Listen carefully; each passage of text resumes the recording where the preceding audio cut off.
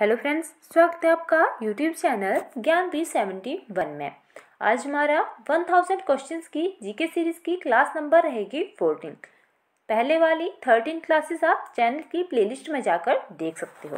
Question number रहेगा sixty one बोलो app किसके द्वारा लॉन्च किया गया है? करेक्ट आंसर जो रहेगा वो रहेगा B Google question number sixty two विश्व कैंसर दिवस मनाया जाता है। करेक्ट आंसर जो रहेगा वो रहेगा डी, चार फरवरी को। तो आप देख रहे होंगे कि दिवस वाले टॉपिक से भी जो है, वो टैट में क्वेश्चन बनते हैं। किसी ना किसी के टैट के पेपर में ये क्वेश्चन बन जाएगा। तो आपने जो है, अभी जो आपके नवंबर मंथ में टैट हैं, उसके लिए जो है, ये क्वेश्चन अवश्य तैयार कर लेना है। और जो है मेन मेन मैंने आपको पिछले वाली वीडियोस में जो है, वो बता दिया है। एक वीडियो में मैंने इससे पीछे बताया हुआ है कि कौन कौन से जो हैं, वो दिवस हैं, जो कि आपके लिए महत्वपूर्ण रहेंगे। अगर आपको पूरे चाहिए होंगे तो आपने जो है, हमें बता देना है, कमेंट करके। तो मैं ऐसे ही कहीं बीच में उनको डिस्कस कर दूँगी, पूरे के पूरे, या फिर उन पर मैं अलग वीडियो ही बना दूँगी। पर हम बताएँगे तभी, अगर आप बताओगे, हमें कमेंट करके कि हमें जो है, इस पर वीडियो चाहिए। नहीं तो मेन मेन जो है मैंने पहले भी बोल दिया कि पीछे जो है एक वीडियो डाली हुई है, उसमें मेन मेन मैंने बताए हुए हैं। तो आपने जो है वो वाले तो कर ही लेने हैं। नेक्स्ट क्वेश्चन ऑस्ट्रेलिया की राजधानी है। करेक्ट आंसर जो रहेगा, वो रहेगा बी कैनबरा तो आप देख रहे होंगे कि ये राजधानियों वाले क्वेश्चन भी बनते हैं। तो आपने जो है ये टॉपिक भी अपना जो है वो तैयार कर लेना है। क्योंकि हो सकता है किसी के टैट में ये क्वेश्चन बन जाए तो अगर आपको आता होगा तो आप जो है इसे आसानी से कर सकते हो। तो आपने जो है ये अपने आने वाले टैट के लिए ये दो टॉपिक जो है एक मैंने पीछे बता दिया आपको, और एक ये रहेगा तो दोनों ही तैयार कर लेने हैं। Question number sixty five. सौर सिंचाई योजना के लिए वित्त वर्ष 2019 टू 20 में कितने बजट का प्रावधान किया गया है? इसके लिए जो करेक्ट आंसर रहेगा, वो रहेगा डी तीस करोड़ ये उस टाइम जो है, वो करंट का क्वेश्चन था. सिक्सटी सिक्स दूध से मक्खन निकालने की विधि कौन सी है? करेक्ट आंसर जो रहेगा, वो रहेगा डी केंद्रण. अब केंद्रण. तो ये क्वेश्चन जो है, वो ऐसे भी जनरल साइंस का क्वेश्चन रहेगा दूध से मक्खन निकालने की विधि कौन सी है? तो वो है अपकेंद्रण। ये ऐसे भी क्वेश्चन जो है, वो अलग पूछ लिया जाता है। अब जो है नेक्स्ट क्वेश्चन रहेगा सिक्सटी सेवन नबार्ड क्या है? नबार्ड एक बैंक है। करेक्ट आंसर जो रहेगा, वो रहेगा सी तो आपने जो है, क्या करना है? ये नबार्ड की फुल फॉर्म क्या होती है, वो कमेंट करके बताना है।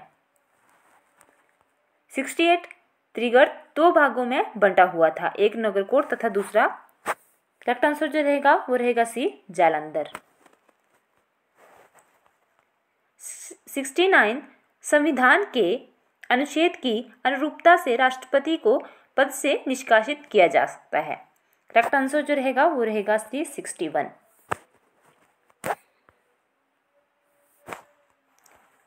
Next question.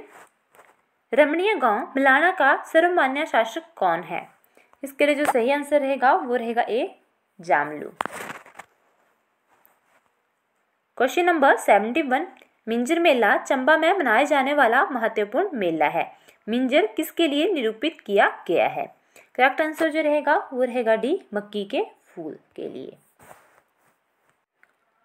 तो मिंजर मेले के बारे में थोड़ा सा मैं आपको और भी बता देती हूँ। ये तो यहाँ पे लिखा ही हुआ है कि चंबा में जो है ये मिंजर मेला मनाया जाता है। कई बार पूछा जा जाता है ये ये मेला जो है वो किसके द्वारा जो है वो आरंभ करवाया गया था? तो ये जो है वो साहिल वर्मन ने शुरू किया था। इस मेले में जो है कई बार क्वेश्चन ये भी आता है कि किसकी पूजा की जाती है? तो इस मेले में वरुण देव की पूजा की जाती है और ये मेला जो है वो अगस्त माह में मनाया जाता है। अब जो है question number seventy two Atal new India challenge कार्यक्रम लागू किया गया था। इसके लिए जो सही आंसर रहेगा, वो रहेगा C twenty six April two thousand eighteen next question रहेगा सेवेंटी थ्री किस वर्ष ईसा मसीह को शूल पर चढ़ाया गया था? करेक्ट आंसर जो रहेगा, वो रहेगा A thirty three A D में।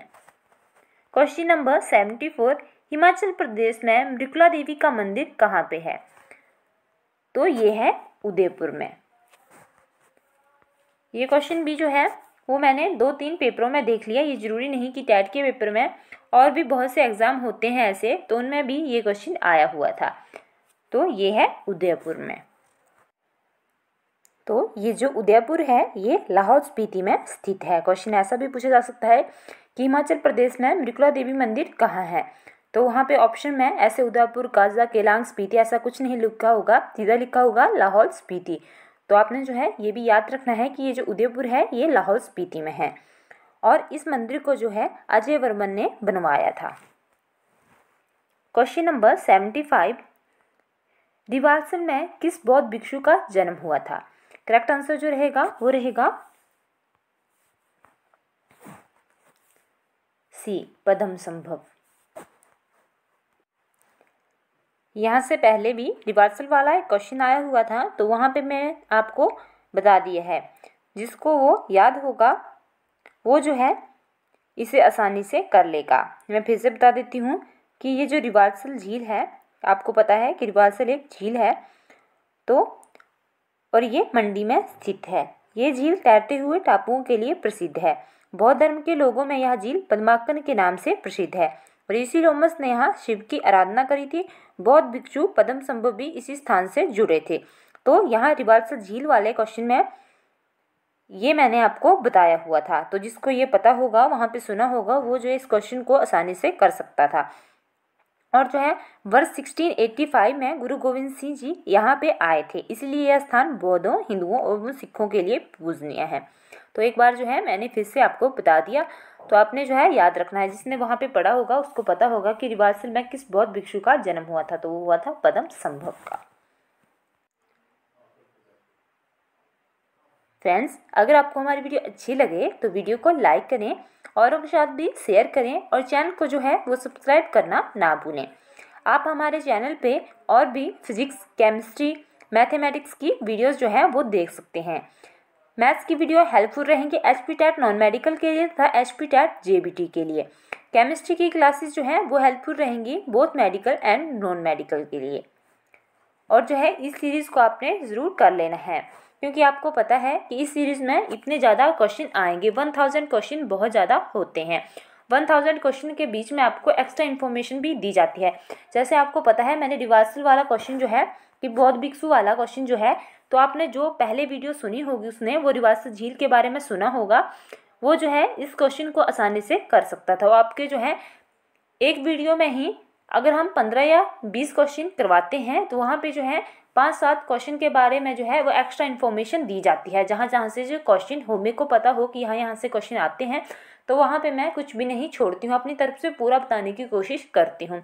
तो आपका जो है वो अच्छे से फिर हर चीज़ क्लियर हो जाती है। एक्स्ट्रा इन्फॉर्मेशन जो है आपको वहाँ से मिल जाती है। तो आपने जो है ये सीरीज़ भी अपनी पूरी कर लेनी है। धन्यवाद।